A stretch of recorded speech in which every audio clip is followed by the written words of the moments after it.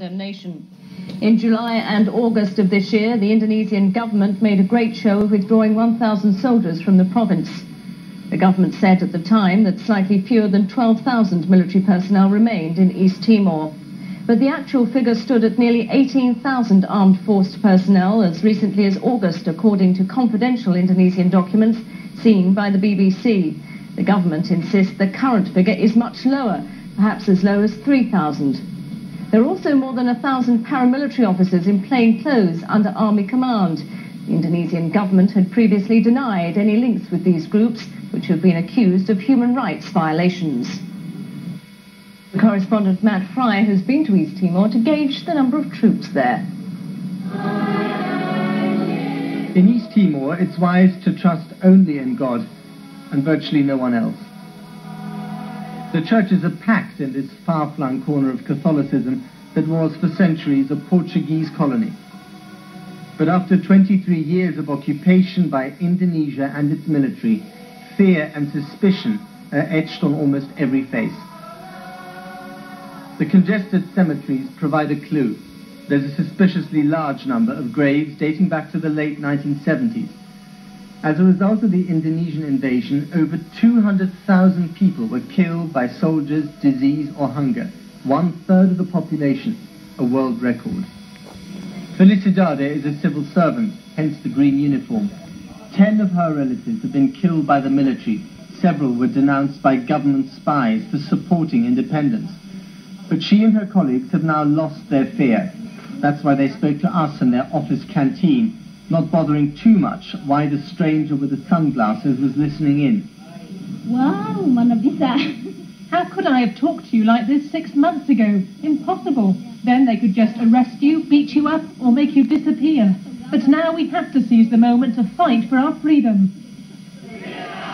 It was Felicidade who filmed this recent rally with her video camera the province's governor had ordered the civil servants to oppose independence, and this was the response.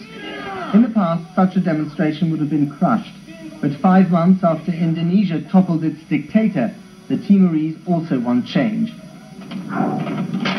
In July, Indonesia withdrew up to a thousand of its toughest combat troops, a goodwill gesture which the new government had hoped would persuade the Timorese to settle for autonomy rather than independence.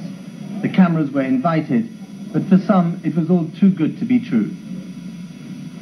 The same harbour today. It now seems that new troops have been sent in. We came across this boat which had just brought 250 special police officers. Later we saw them on the streets, policemen with balaclavas and automatic rifles, dressed perhaps to crack down once again. But this student leader told us it was too late to stop the momentum for independence. This is a war. We're talking about the war and the struggle of a, a nation of people. Yeah, if that will happen, that's the risk. Yeah, no war without sacrifice. If the political struggle fails, Asia's most secret guerrilla movement is preparing to continue the military one. Many of these East Timorese rebels have been living in the jungle since the invasion. There are no more than 500 of them. They may look like a ragged bunch, but they've killed thousands of Indonesian soldiers. Now they're poised for new offensives. Five months ago, after the fall of President Suharto, these people here thought that self-determination was finally within their reach. But now it seems that they'll still have to wait a long time. The evidence suggests that the army is building up and not scaling down. And that's because the government in Jakarta fears that if East Timor is allowed to break loose, then other islands in this vast and fragmented country will want to do the same. Matt Frei, BBC News, Dili, East Timor. A short time ago, I spoke to Indonesia's foreign ministry spokesman in Jakarta, Gafar Fadil. I began by putting it to him that his government is being accused of systematically lying about the number of military personnel in East Timor.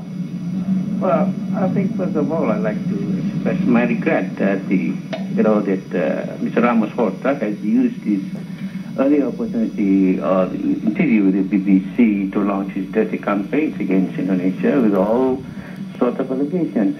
Well, we think it sounds really a desperate person, sir, trying to convince the world of his uh, misconception of the process of democratization taking place in Indonesia including in East Timor. Uh, it is really unfortunate for us that uh, while Indonesia and Portugal are trying to uh, moving forward on the discussions on the uh, contents of the special status of East Timor, or a wide range of autonomy for that uh, for that uh, territory. He is uh, showing such kind of attitude. But you understand why these criticisms are being made. Only last week, your Foreign Minister Ali Alatas said that there would be no more combat troops left in the territory of East Timor. Now, this week he's saying, well, there may be a few there. So what is the case? Exactly right, because uh, as far as we know, that uh, there are only 12,000 uh, troops in uh, East Timor, and most of these troops are territorial troops, uh, which uh, are engaged in civic missions such as building roads, constructing bridges, and in, taking part in development projects in, in, the territory. As far as we know, for the last four months, there has been you know quiet in, in this area. So uh, we don't see why there are so much allegations about what's going on.